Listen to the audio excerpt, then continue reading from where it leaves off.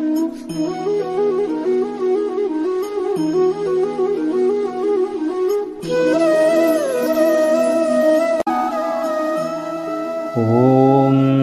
ശ്രീ ഏവർക്കും വിനീതമായ നമസ്കാരം. എൺപത്തിരണ്ടാം ദശകത്തിലെ അഞ്ച് ആറ് ശ്ലോകങ്ങൾ നമുക്ക് അധ്യയനം ചെയ്യാം. അഞ്ചാമത്തെ ശ്ലോകം. പുരീപാല ശൈലപ്രിയ ദുഹിതൃനാഥോസ്യ ഭഗവാൻ. സമം ഭൂതവ്രാതേർയദുബലമശങ്കം നിരുരുധേ. മഹാപ്രാണോ ബാണോ ഛട്ടിതി യുയുധാനേന യുയുധേ. ഗുഹ പ്രദ്യുമ്നെ ത്വമപി പുരഹന്ത്ര ജഘടിഷേ. പ്രതിഷേധങ്ങൾ നോക്കാം. ഒന്നാം പദത്തിൽ ശൈലപ്രിയ ദുഹിതൃനാഥോസ്യ ശൈലപ്രിയ ദുഹിതൃനാഥ അധികം അസ്യ. രണ്ടാം പദത്തിൽ ഭൂതവ്രാതേർ ഭൂതവ്രാതേഹി അധികം യദുബലം അധികം അശങ്കം. ഇനി മൂന്നാം ഭാഗത്തിലേക്ക് വന്നാൽ മഹാപ്രാണോ ബാണോ ഛടിതി. മഹാപ്രാണഹാധികം ബാണഹാധികം ഛടിതി. നാലാം ഭാഗത്തിലേക്ക് വന്നാൽ ത്വം അപി ത്വം അധികം അപിയാണ് ത്വം അപി നമുക്കിനി അനുഭവത്തിലേക്ക് പ്രവേശിക്കാം. അസ്യ പുരീപാല ശൈലപ്രിയദുഹിതൃനാഥ ഭഗവാൻ ഭൂതവ്രാതൈ സമം അശങ്കം യദുബലം നിരുരുധേ. മഹാപ്രാണ ബാണ ഛട്ടിതി യുയുധാനേന യുയുധേ.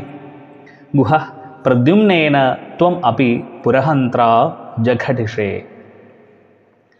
അസ്യ എന്ന് പറഞ്ഞാൽ ഇവന്റെ ഈ ബാണന്റെ പുരീപാലഹ പുരിയായ നഗരമായ ശോണിതപുരത്തിന്റെ പാലകൻ ശൈലപ്രിയ ദുഹിതൃനാഥ ഹിമാലയത്തിന്റെ പ്രിയപ്പെട്ട പുത്രിയുടെ ഭർത്താവുമായ ഭഗവാൻ ശ്രീ പരമേശ്വരൻ ഭൂതവ്രാതേഹി സമം ഭൂതസമൂഹങ്ങളോടുകൂടി അശങ്കം ശങ്കയില്ലാതെ ഒരു സംശയമില്ലാതെ യദുബലം നിരുരുധെ യദുബലത്തെ യാദവ സൈന്യത്തെ നിരുരുധെ തടഞ്ഞു.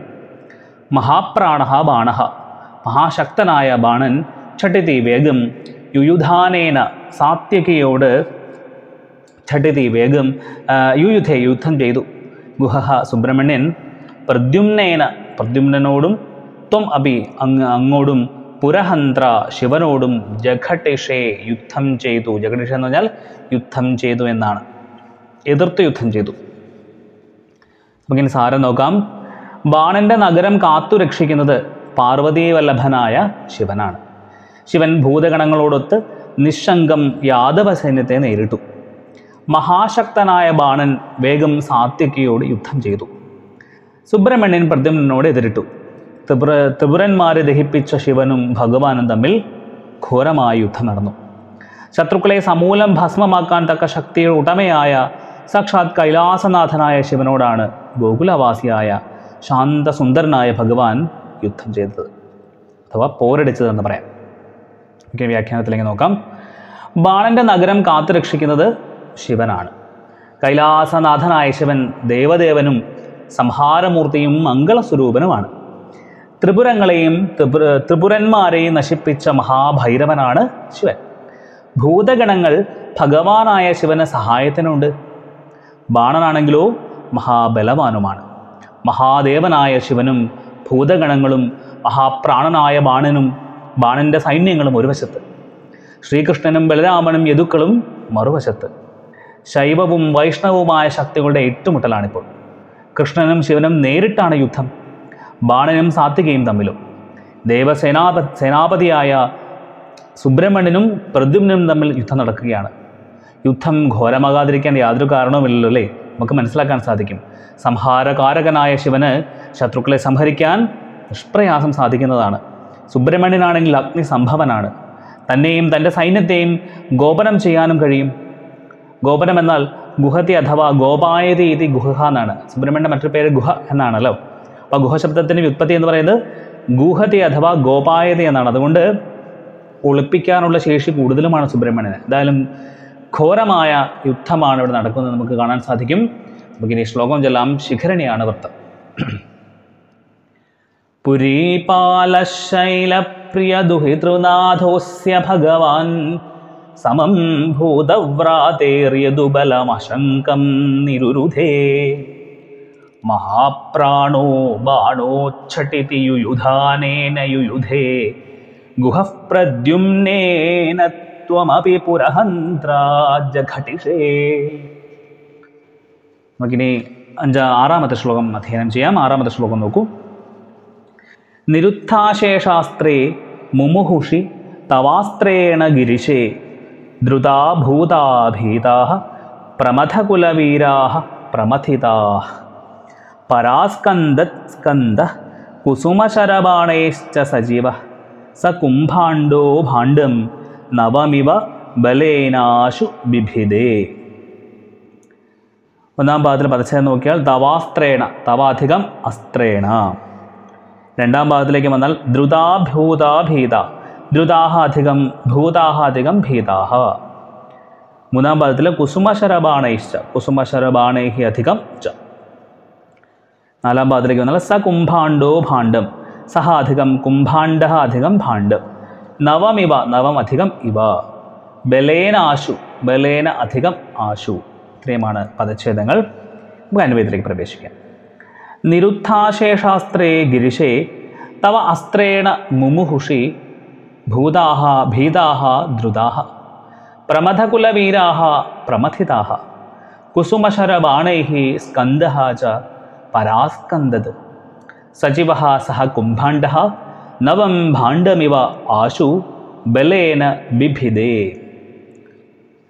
നിരുദ്ധാശേഷാസ്ത്രേ എല്ലാ ആയുധങ്ങളും തടഞ്ഞ ഗിരിശേ ശിവനിൽ തവ അസ്ത്രേണ അങ്ങയുടെ അസ്ത്രം കൊണ്ട് മുമുഹുഷി ബോധം കെട്ടപ്പോൾ ഭൂതാഹ ഭൂതഗണങ്ങൾ ഭീതാഹ ഭീത ഭീതരായി തീർന്നു ഭയപ്പെട്ടവരായി തീർന്നു ദ്രുതാഹ എന്നിട്ട് അവർ ഓടിപ്പോയി.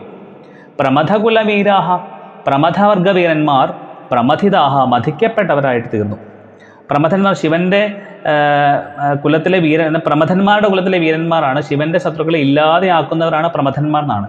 അവരെന്ത് ചെയ്തു പ്രമഥിതാഹ മഥിക്കപ്പെട്ടവരായി തീർന്നു കുസുമശരവാണേഹി കാമശരങ്ങളാൽ സ്കന്ദഹാജ സുബ്രഹ്മണ്യനും പരാസ്കന്ദത് പുറകു തിരിഞ്ഞോടി എന്നാണ് സജീവഹ സഹ കുംഭാണ്ഡ ബാണന്റെ സജീവനായ മന്ത്രിയായ സഹ കുംഭാണ്ഡ ആ കുംഭാണ്ഡനും നവം ഭാണ്ഡമിവ.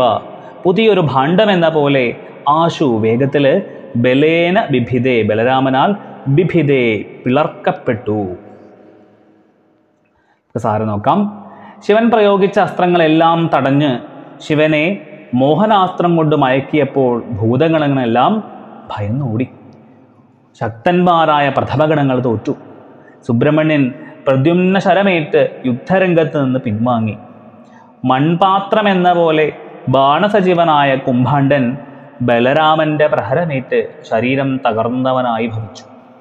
യുദ്ധത്തിന്റെ അവസാനത്തിലേക്ക് പോവുകയാണ്. വ്യാഖ്യാനത്തിലൂടെ കൂടെ കുറേ കാര്യങ്ങൾ മനസ്സിലാക്കിയെടുക്കാം. കുംഭാണ്ഡനും കൂപകർണനും ബലരാമന്റെ താടനമേറ്റ് മരിക്കുകയും അവരുടെ സൈന്യം പരാജയപ്പെട്ട് ഓടുകയും ചെയ്തു എന്നാണ് ഭാഗവതത്തിൽ പറയുന്നത്.